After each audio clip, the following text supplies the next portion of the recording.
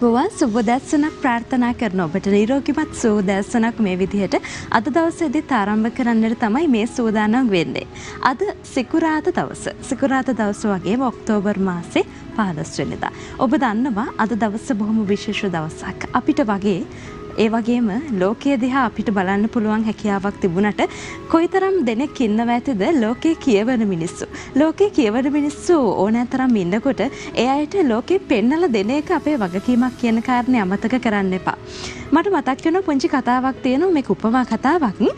ඒ කතාවේ කියනවා මේ දවසක් අන්ධ කෙනෙක් පාරේ යනවා හුලුවත්තකුත් පත්තු කරගෙන. කෙනෙක් අහනවා ඔහුගෙන් වීදියේ යන අතරතුරේදී ඇයි මේ හුලුවත්තක් පත්තු කරගෙන ඉන්නේ? ඔබට ලෝකේ පෙන්න්නේ නැහැ නැහැනේ ඔබට පාර පෙනෙන්නේ නැහැනි කියලා.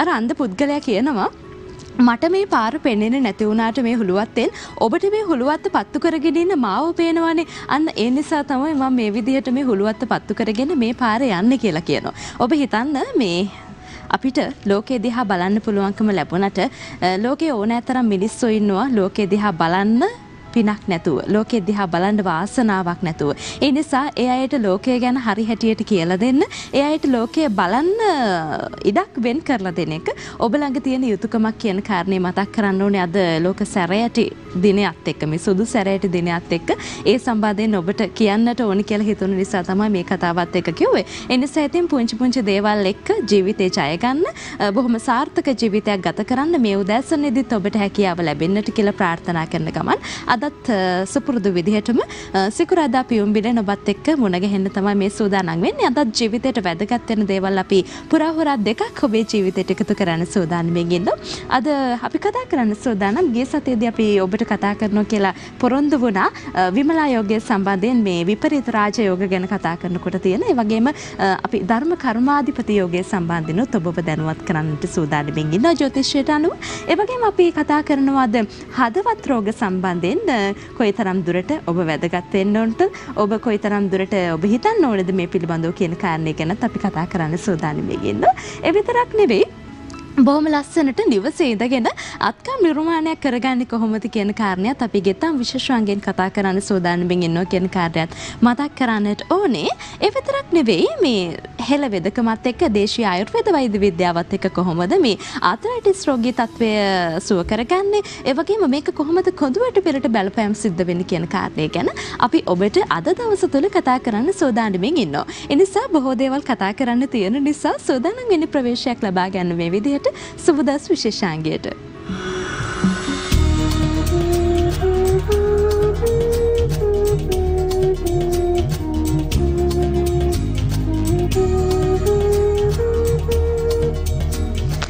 හොඳයි දැන් අද අපි කතා කලානේ ඔබට මේ සුබදස් විශේෂාන්ගේ තුළින් ගිය සතියේදී අපිට ඉතුරු වෙන කොටසක් තියෙනවා. ඒ ගැනත් අපි කතා කරනවා මේ විමලා යෝගයේ සම්බන්ධයෙන් සහ මේ විපරීත රාජයෝග ගැන කතා කරනකොට මේ ගැන තමයි අද අපිට කතා කරන්න පුංචි කොටසක් ඉතුරු වුණේ. ඒ ගැන වගේම ධර්ම කර්මාධිපති යෝගය සම්බන්ධයෙන් අද අපි ඔබව දැනුවත් කරන්න සූදානම් ඉන්නවා. මේ පිළිබඳව ඔබට කියන්න බොහොම සරලව ඔබට පැහැදිලි කරලා දෙන්නට අපි ආරාධනා කළා ප්‍රවීණ ජ්‍යොතිෂවේදිනී ප්‍රසාදිනී නර්මදා මහත්මියට. අයිබෝවන් නිරෝගිමත් සූදාසන. අයිබෝවන් ජයනී අනේ සුබ උදැසනක් වේවා.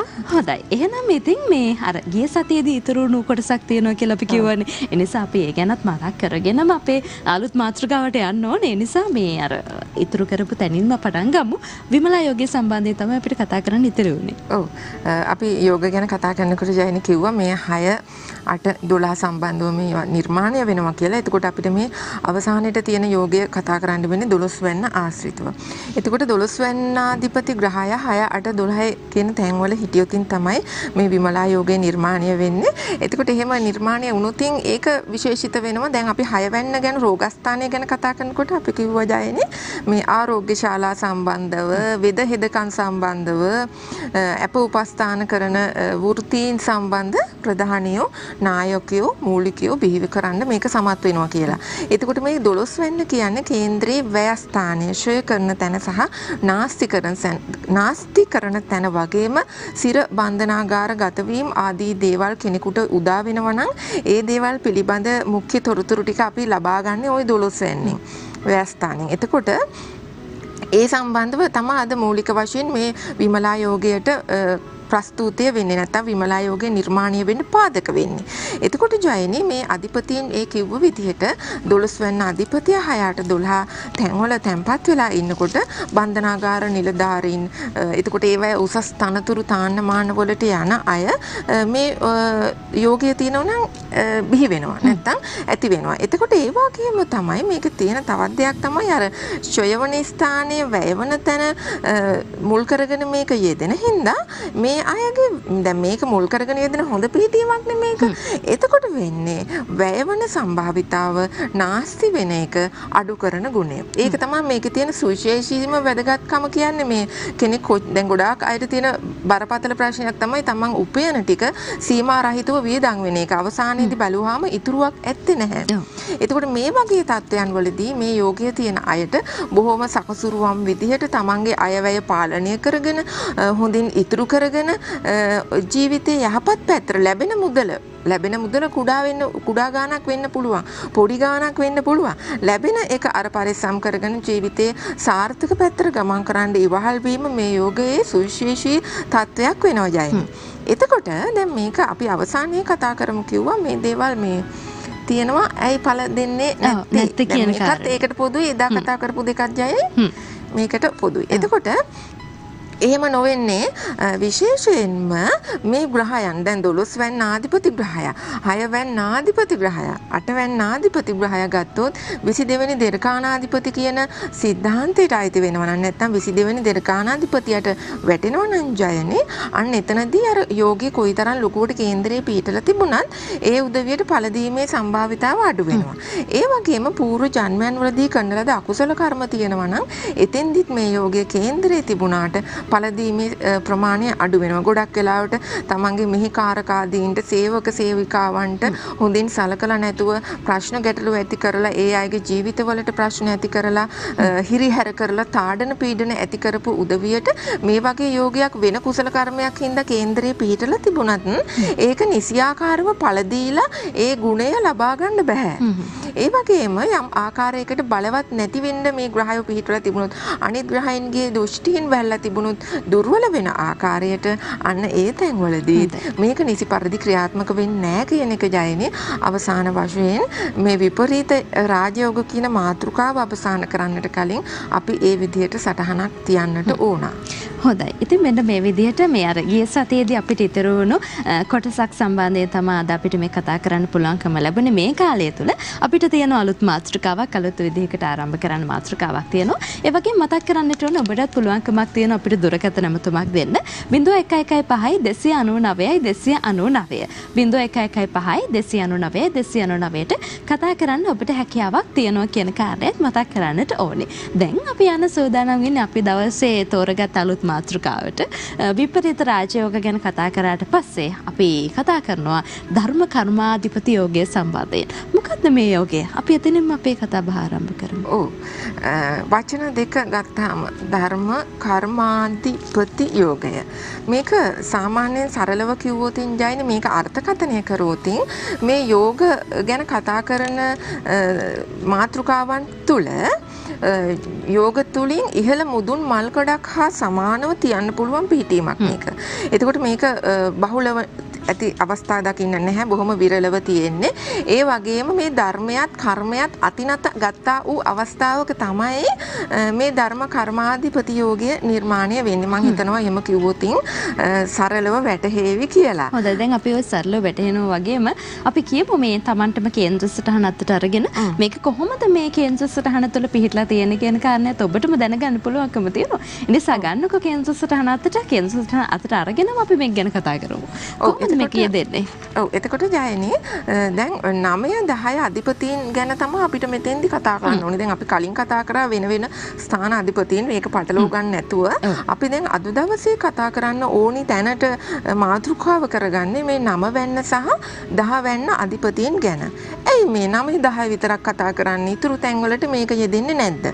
දැන් ධර්මය කියනකොට ජයනේ ධර්මය කියන්නේ අපි ධර්මයේ දරාගෙන ජීවත් වෙනවා කියන එක.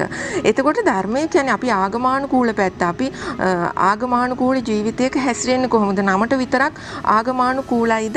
අපි හරි පැවැත්මකින් යුතුව ආගම දහම අදහගෙන අ, අපේ ජීවිතයට ඒ තුලින් යම්කිසි දෙයක් එකතු කරගෙන අපි හරි පැත්ත ගමනක් යනවාද? අ, එතකොට එහෙම නැත්නම් දැන් අ, සාමාන්‍යයෙන් ආගම දහමට කෙනෙක් නැඹුරුද කියලා කතා කරනකොට දැන් ඒ පුද්ගලයා සිල් ගන්න යන්න යනවා වෙන්න පුළුවන්. බෝධි පූජා තියනවා වෙන්න පුළුවන්.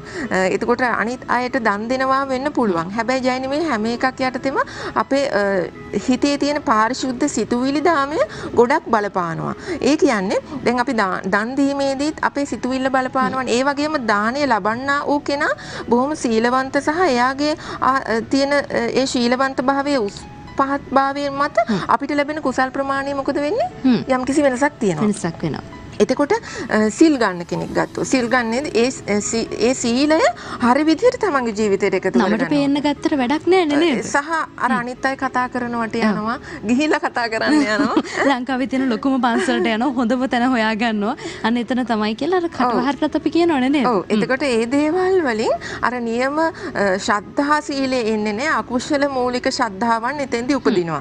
එතකොට ඒ නිසා එයා යහපත් ආගම දරන්නෙක් වෙන්නේ නැහැ එතනදී. ඒ වගේම දැන් ওই බෝධි පූජා කටයුතු සමහර අය ජයනේ හැම සති අන්තිකම බෝධි පූජා තියෙනවා අපලයක් තිබ්බත් නැතත් ඒ කාර්යතම්ය කරන අය ඉන්නවා. නමුත් ඒ අයගේ හිත පාරිශුද්ධත්වයෙන් සමහර අවස්ථාවලදී නැහැ. කතා බහ කරනකොට කියන කරන දේවල් තුලින් හිතෙනවා සහ දැනෙනවා හොඳින්ම සමහර චරිතවල ඒ කියන්නේ එදිනෙදා ජීවිතයේදී හමු වෙන අය තුල ජයනේ ගොඩක් වෙලාවට මේ හිතේ තියෙන ශ්‍රද්ධාව කියන දේ අහෝසි වෙලා කියලා. කරන්නම් වාලේ අර ගෙදර බත උයනවා දවල් උදේට කනවා දවල්ට කනවා රැට කනවා පරිද්දෙන් අර ක්‍රියාදාමයක් කරනවා වගේ කරනවා. ඉතින් මේක මේ තරම් විග්‍රහ කරේ තේරුම් ගන්න ඕනේ නිසා. එතකොට ධර්මය කියන දේ තමයි ඔය කිව්වේ ධර්මය කියන දේ කොහොමද ජීවිතේට තියෙන්න ඕනි කියන දේ. එතකොට දැන් ඒක තුල හරියට නියැලෙන්නේ නැති කෙනෙකුට ඒක වෙනස් කරගන්න මෙතන ඉඳලා පුළුවන්කම තියෙනවා. එතකොට මොකද්ද මේ කර්මය පැත්ත? කර්මය කියන්නේ කර්මය කියලා අපිට කියන්න පුළුවන් ජයනේ කුසල් අකුසල් දෙකටම. කරපු හොඳ ටික සහ කරපු නරක ටික. එතකොට මෙතනදී අපි යෝගයක් ගැන කතා කරන හින්දා අපි මෙතනදී එකතු කරගන්නවා හොඳ පැත්ත. දැන් මේ යෝගිකින් සිද්ධ වෙන්නේ හොඳ දෙයක් නේ. අපි හොඳ යෝගයක් ගැන කතා කරන්නේ. එතකොට අපි මේ කරපු කුසල් කර්ම පුහුණු කරගෙන ආපු දේවල් ගියාත්මේදී කරගෙන ආපු දේවල් පිළිබඳව කියවෙන කියවෙන්නා වූ කොටස තමයි පෙර කරපු කුසල කර්මයන් කියලා කියන්නේ. එතකොට දැන් මේ පෙර කරපු කුසල කර්මයන් කේන්දරේ කියවෙන තැන තමයි නම වෙන්න. හොඳද? එතකොට නම වැනි භාව කේන්දරේ නම් නම වෙනි භාවය. දල කේන්ද්‍රයක් ගත්තොත් නම වෙනි කොටුව කියලා ඔබට කියන්න පුළුවන්. එතකොට දහවැන්න කියපු තැන අපේ රැකී ආරක්ෂා පෙන්눔 කරනවා ඒ වගේම කර්මය. එතකොට මේ ධර්ම කර්මාධිපති යෝගය ගැන කතා කරනකොට ජයනේ අපි 9 සහ 10 ගැන කතා කරන්නේ ඔන්න ඔය කාරණාව නිසා විශේෂයෙන් 10න් තවතුරතුරු එළි වෙනවා අපේ පිය පාර්ශවය අපේ පියා බලවතෙක්ද පියා ප්‍රධානියෙක්ද? එතකොට ඒ පියාගේ තනතුරු තාන්න මාන්න ගැන කියවෙනවා. එතකොට අපේ වෘත්තීය මාර්ගය අපි කරගෙන යන ශේත්‍රයන් සම්බන්ධව කියවෙනවා. එතකොට මේ කාරණාත් ඇතුළත් වෙනව තමයි මේකට. ඉතින් මෙතනදී අපි මේ යෝගයේදී මූලික වශයෙන් ඔය තැන් දෙක උලුප්පල අරගෙන කතා කරනවා. මොකද ඕක යෙදෙන්නේ 9 සහ 10 ප්‍රමුඛ කරගෙන හන්දා. හොඳයි. දැන් ওই 9 සහ 10 කියන කොටු දෙක කොයි විදිහටද ඔබේ කේන්ද්‍ර සටහනේ තියෙන කියන කාරණේ ඔන්න ඔබට දැනගන්න පුළුවන් බලා ගන්න පුළුවන්කම තියෙනවා. මේ අ, ඔය දැන් ඔය ගැන කතා කරන අතරතුරේදී අපිට දුරකථන මුතුමක් තියෙනවා. දුරකථන මුතුමකට යමු වෙලාව අපි ඉතිරි ටික කතා කරමු කියලා කියන්න ඕනේ. ආයිබෝවන් සුබ දැසනක් ආයිබෝවන් මේ මට මේ දුවටි මේ වෙලා පොඩ්ඩක් බලා ගන්න ගත්තේ මේ හොඳයි. මේ අපිට සඳහන් කරන්නකෝ ඔබේ උපන් දිනය සහ උපන් වේලාව? දෙදස් දෙකේ ජුනි හතර. දෙදහස් දෙකේ? හයයි හතර. හයවෙනි මාසේ හතරවෙනිදා. හයවෙනි මාසේ හතරවෙනිද උපන් වේලාවත් සඳහන් කරමු අපි. හවස පහයි තිය හවස පහයි තිහට. හවස පහයි තිහට වෙලා හරණ වෙලාවෙන් පහ පරණ වෙලාවෙන් පහ උහුහු. හොඳයි. අපිට මේ උපන් රෝහලත් සඳහන් කරමුකෝ. මේ අන්තවිල්ල අවිස්සාවේල රෝහල. විශේෂ කාරණාවක් තියෙනවද දැන කියා ගන්න විශේෂ? මෙයාගේ පරිවර්තන යෝග හොඳයිද කියලා අහන්න තමයි ගත්තේ දැන් 嗯哼哼，哈里。අපි බලමු කොයි විදිහටද මේ සම්බන්ධයෙන් කතා කරන්න පුළුවන්කම තියෙන කියන කාරණේ දැන් අර කාල වේලාවත් එක්ක බොහෝ තොරතුරු කියන්නට නොහැකි වේවි. නමුත් දල වශයෙන් හෝ ඔබට මේ ආකාරයේ කේන්ද්‍රය ඔස්සේ අපි කියන්න සූදානම් ඉන්නවා කියන කාරණේ මතක් කරන්නට ඕනේ. ඉතින් අපි බලමු කොයි විදිහටද මේ ගැන කියන්න පුළුවන්කම තියෙන කියන කාරණේ. බොහෝ දේවල් කතා කරන්නට තියෙන බොහෝ දේවල් ඔබට කියන වෙලාවක තමයි ඔබ අපිත් එක්ක මේ ඉන්නේ කියන දේත් මතක් කරන්නට ඕනේ. අපි ලග්නේ නිවර්ති කරගමු. වෘශ්චික ලග්නය තමයි අපිට පෙන්නුම් කරන්නේ. හොඳයි. යෝග ගැන කතා කරනකොට ජයන මේකේ තියෙනවා යෝග ගණනාවක් ගැන විග්‍රහ කරන්න. එතකොට හොඳ යෝග කීපයක් තියෙනවා. ඒක අපිට කාල සීමාවත් එක්ක ගැටලුවක් ඒ විනේද? ඔව් අපි කෙටියෙන් සඳහන් හොඳ යෝග කීපයක් තියෙනවා. දැන් මෙතනදී වෘශ්චික ධනු මකර කුම්භ මීන මේෂ වෘෂභ. එතකොට අංශක ප්‍රමාණයත් එක්ක බලනකොට මෙහෙමයි. අපි මේක මෙහෙම කරමු ජයනේ. අපි අංශක ප්‍රමාණයත් එක්ක විග්‍රහ කරලා බලනකොට මේ ග්‍රහය යෝග නිර්මාණය වීමේදී යම්කිසි පරස්පරතාවයක් තියෙනවා. ඒවා ගැටලුකාරී තත්ත්වයක් නැතුව බලන්නට ඕනි. එතකොට මෙතන අපි අද ප්‍රස්තුතයට ලක් කරන අද මේ කතා බහට ලක් කරන යෝගය මෙතන නිර්මාණය වීමක් වෙලා නැහැ. නමුත් අවශේෂ සුළු සුළු යෝග කීපයක් තියෙනවා ජීවිතයේ සාර්ථක පැත්තට අවතීර්ණ කරගන්න පුළුවන්. ඒ තත්ත්වය නිසා මේ කේන්දරේ යම්කිසි ආකාරයකට ඔක්කොම එකතු කළ මම සරලව දෙයක් කියන්නම්. ජීවිතේ යම්කිසි අවපාතයන් එනවා. වැටීම් ඒ කියන්නේ ජීවිතේ යම්කිසි කඩා වැටීම් වෙනවා කාල සීමාවක් තුළ හැබැයි අන්තයටම යන්නේ නැතුව ඒ යෝගවල පිහිටීම නිසා බොහෝම ඉහළට එකපාරට නැගීමක් වෙනවා. උස් පහත් වෙවි යනවා හැබැයි වැටීමක් වෙන්නේ. දැන් සමහර අයට ජීවිතේ යම් යම් කාලවලදී අපලයක් දෝෂයක් ආවම ඒ රාෂ්ට්‍රක දෝෂයක් ආවම රාහුගේ කාල සීමාවක් වගේ ආවම ඒ පුද්ගලයාගේ ලොකු කඩා වැටීමක් එනවා ජීවිතේ. නමුත් මෙයාගේ පොඩි පසුබෑමක් විතරක් ඇවිල්ලා මේ යෝග කීපයක් තියෙනවා. ඒවැය බලය නිසා බොහොම ඉහළ තත්ත්වයකට යන වාසනාව තියෙනවා කියලා මේ දේවල් ඔක්කොම එකතු එකතු කරලා අපි පොදුවේ වචනයක් දෙමු මේ විදිහට. හොඳයි. ඉතින් මෙන්න මේ විදිහට බොහෝ දේවල් කතා කරන්නට නොහැකි වුණත් අපිට සමස්යක් විදිහට අරගෙන කටයුතු එකතු කරන්න පුළුවන්කම ලැබුණා. ඒ නිසා මේ යාත්‍ර වාරයේදී ඔබටත් පුළුවන්කමක් තියෙනවා අපිට දුරකථන නමුතුවක් ලබා දෙන්න 0115 299 299 0115 299 299ට කතා කරන්න ඔන්න ඔබට පුළුවන් හැකියාවක් තියෙනවා. අපි දැන් කියවන්නේ කේන්ද්‍ර සටහන අතර ගන්න කියලා අතර අරගෙන දැන් බලන්න පුළුවන්කම තියෙනවා. මේක ඔබේ කේන්ද්‍රයේ යෙදීමත් එක්ක කොයි විදිහට විදිහටද සුභා සුභ ඵල ගෙන දෙන්න කියන කාරණේ අපි කතා කරමු. ඔව් එතකොට මම දැන් විග්‍රහ කරගෙන ආවේ මේ යෝගය පිහිටන්නේ මොන මොන තැන් ආශ්‍රය කරගෙනද කියලා. එතකොට දැන් මේ යෝගය පිහිටලා තියෙනකොට දැන් අපි කියන්නේ නමවැන්නාධිපති සහ දාවැන්නාධිපති සංකලනය වීම හරහා තමයි මේක නිර්මාණය වෙන්නේ. එතකොට මේ දෙන්න මූණට මූණ බලාගෙන ඉන්නත් පුළුවන්. සමසප්තමව ඉන්නත් පුළුවන්. එතකොට ත්‍රිකෝණ ස්ථාන වල ඉන්නත් පුළුවන්. උපචය ස්ථානයන් වල ඉන්නත් පුළුවන්. මෙහෙම ඉන්නකොට මේක නිර්මාණය වෙනවා. එතකොට අපි හිතුවොත් දැන් පළවැන්නේ මේක තිබ්බොත් දෙවැන්නේ තුන්වැන්නේ වගේ තිබ්බොත් ජයනේ මේක මේක ප්‍රතිඵලය විවිධාකාර වෙනවා එක එක්කෙනාට. තමන්ගේ ලග්නයත් එක්කලා සහ මේ ග්‍රහයින්ගේ බලදුබලතා අනුව මේක වෙනස් වෙනවා. දැන් ධර්ම කර්මාධිපති යෝගයේ කේන්දරේ තිබුණා කියලා දැන් අපි මේ විග්‍රහ කරන්න ඕ ප්‍රතිඵලය ඒ විදිහටම නැති වෙන්න හෝ කියන ප්‍රතිඵල යම්තාක් අඩු වෙලා හම්බ වෙන්න ඕන ඕකයි හේතුව. ගොඩක් අය ඕක ගැන දන්නේ නැහැ සහ අවබෝධයක් නැහැ. එතකොට මේක දල වශයෙන් බලාගෙන කියනවා මෙතෙන්දී මේ කියන විදිහට විදිහට යෝගේ තියෙනවන්නේ දැන් ගැටලුවක් නෑනේ කියන තැනින් ඉන්නවා. දල වශයෙන් බලාගත්තාම පේනවා මේක තියෙනවා කියලා. එතකොට මේක තියෙන ස්ථානයේ සහ මේ ග්‍රහයින්ගේ බල දුබලතා ගැන කතා කරනකොට අන්න එතන ප්‍රශ්නයක් තියෙනවා. මේක නිසි විදිහට උදා වීමද නැත්නම් දැන් 22 වෙනි දෙරකානාධිපති අපි කලින් කතා කරා විමලා යෝගයේ කියනකොට ගැන කියනකොට මේ අධිපතීන් 22 වෙනි දෙරකානාධිපතිගේ යටතට වැටෙනවා නම් එයාට අහු වෙනවා නම් අන්න එතන නිග ප්‍රතිඵල දීමේ தત્ත්වය අවම වෙනවා පස්සට යනවා ලැබීම අඩු කරනවා කියලා. එතකොට අපි බලා හිටියොතින් මේ කාලෙදි මෙහෙමයි මේකට මොකුත් කරන්න ඕනේ නැහැ. මේකට අපි අපේ වෙනස්කම් ඇති කරගන්න ඕනේ. මේක ඵල දෙයි ටිකක් ඉස්සරහට යනකොට ඒක ටිකක් අඩු කරන සුළු ස්වභාවය. ඉතින් මේක අවබෝධය තුළින් වෙනස් කරගන්න පුළුවන්. සහ ධර්ම කර්මාධිපති යෝගයේ කේන්දරේ තිබ්බ කියලා සියලු දේ ඕකට බාර දෙන්න බෑ ජයනේ. ඉතින් එහෙම එකකුත් තියෙනවා. මේක සමබරව හිතා ගන්නට ඕනි තැනක් තමයි මේ යෝග ගැන කතා කරනකොට. එතකොට දැන් මම කිව්වා පළවෙන්න හිටියොතින් පළවෙන්න කියන්නේ ඥානය බුද්ධිය ගැන කෙනෙකුගේ කියවෙන තැන.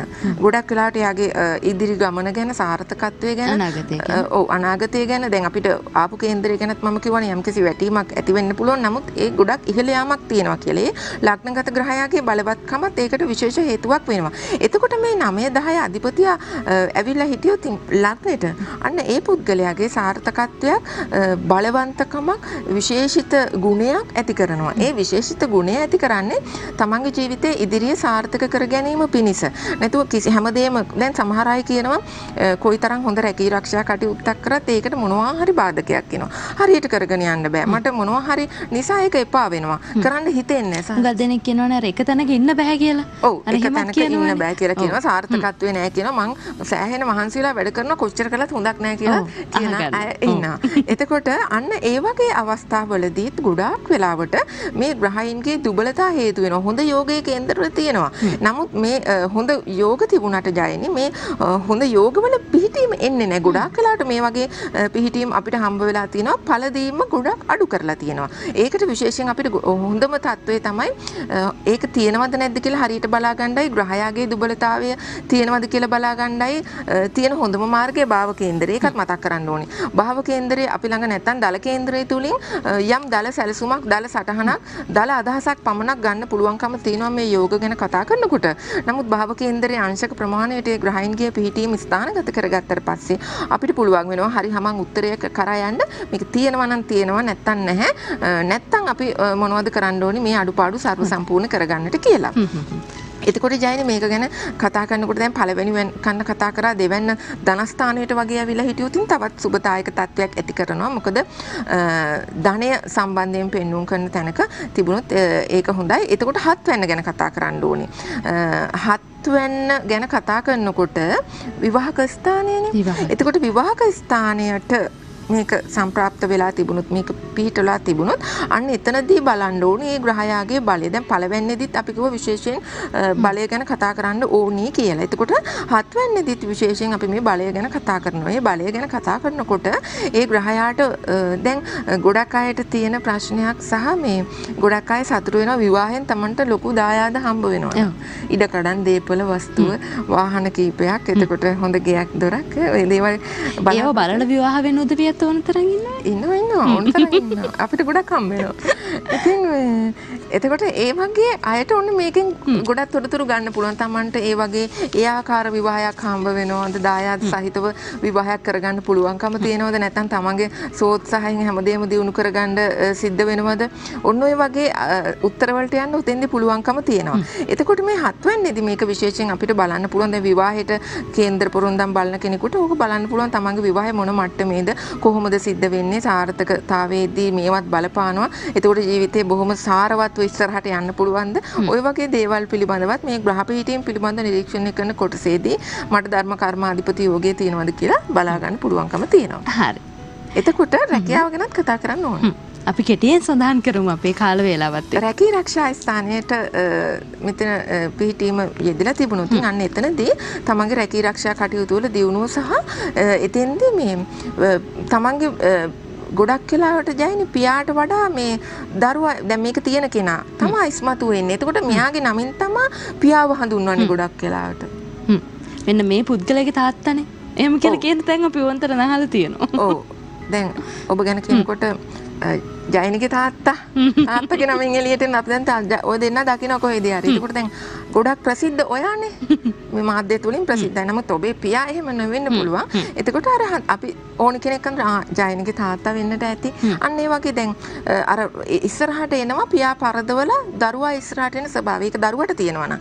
එතකොට ඒ වගේ අර එතෙන්දී මොකද මං කිව්වනේ කලින් පීතෘ ස්ථානයත් මූලික කරනවා කියලා. එතකොට මේ පියාට වඩා ඉදිරියට යන ස්වභාවය ඇති කරනවා. ඒ වගේම තමන්ගේ වෘත්තීය මාර්ගය තුල අපි හැමදාමත් කියනවනේ වෘත්තීය මාර්ගයට දායකත්වයේ සපයන අ, තැනක හොඳ පිහිටීමක් තිබ්බොත් ඒ පුද්ගලයා එතනින් ඉදිරියට යනවා සාර්ථකත්වය ඇති කරගන්නවා කියලා. ඒ වගේම බාධක බිඳගෙන ඉදිරියට යන ස්වභාවය ඇති කරනවා කියලා. එතකොට ඒ වගේ තත්ත්වයන් මෙතනදී ඇති කරන්න පුළුවන්කම තියෙනවා. හොඳයි. ඉතින් මෙන්න මේ විදිහට තමයි අද අපි කතා කරපු මාතෘකාව සම්බන්ධයෙන් බොහෝ කරුණු ඔබට ඉදිරිපත් කරන්නට පුළුවන්කම ලැබුණේ. අපි ඔබට සඳහන් කළා කේන්ද්‍ර සටහන තුළ ඔබටම බලා ගන්න පුළුවන්කම තියෙනවා 9 සහ 10 කියන ස්ථානවල කොයි විදිහටද මේ ධර්ම කර්මාධිපති යෝගයේ යෙදලා තියෙන කියන දේ පිළිබඳව. ඉතින් ඒ නිසා බොහෝ දේවල් අපි ඔබට මේ කාලය තුළ එකතු කරන්න පුළුවන්කම ලැබුණු නිසා සුබදස් විශේෂාංගය තුළින් අපිට සමවර්ගයන්න කාලය උදා වෙලා තියෙන්නේ. ඒ වගේම ඔබට පුළුවන්කම තියෙනවා මෙතුමිය සමග ඔබේ ජන්ම පත්‍රය පරීක්ෂා කරගන්න සුභාසුභ තත්ත්ව පිළිබඳව දැන කියා ගන්න මම ඔබට දුරකථන අංකය සඳහන් කරන්නම්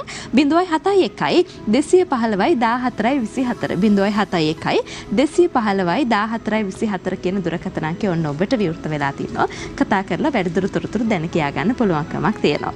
අද මේ සම්බන්ධයෙන් ඔබත් එක්ක කතා බහ කරන්නට අපත් සමග සම්බන්ධ වුණේ ප්‍රවීණ ජ්‍යොතිෂ වේදිනී ප්‍රසාදිනී නර්පදා මහත්මිය බොහොම ස්තුතියි මේ පැමිණීමට. අයිබෝවන්. අයිබෝවන් ඉතින් මේ සුබදස් විශේෂාන්ගේෙන් අපි සමවරගෙන යන වගේම කෙට විරාමයක් ගන්න සෝදානන් වෙන්න විරාමෙන් අනතුර අපි ඔබ වරගෙන යන්න සෝදානමෙන් ඉන්නවා නිරෝගේසෝ විශේෂාන්ගේට අපි කතා කරනවා හදවත් රෝග සම්බන්ධයෙන් ඒ වගේම මේ කාලවකවනතුර ඔබට සහ අපි හැමෝටම වැදගත් වෙන මාතෘකාවක් තමයි මේ රෝග කාරක තත්ත්වය. ඒ නිසා මේ පිළිබඳව ඔබව දැනුවත් කරන්නට අපි සූදානම් වෙගින්නවා. විශේෂඥ වෛද්‍ය චමර රත්නායක වෛද්‍යතුමා සූදානම් වෙගින්නවා මේ ගැන ඔබට කියන්න.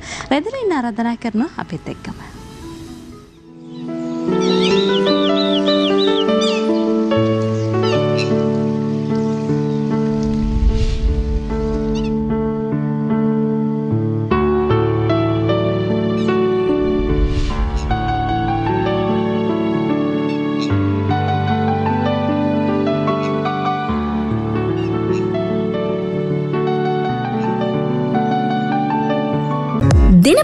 අලුත් වීඩියෝ සහ ප්‍රවෘත්ති නැරඹීමට ඉහත බටන එක කලික් කර සියත TV සබස්ක්‍රයිබ් කරන්න.